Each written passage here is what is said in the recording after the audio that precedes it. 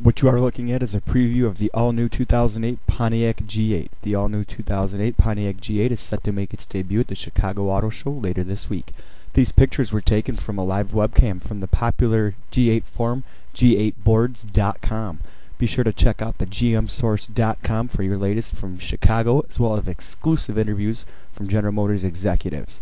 Once again, that's the gmsource.com. Check us out for your latest news on this debut, as well as the Saturn Astra, Saturn Vue Red Line, and Saturn Vue Green Line.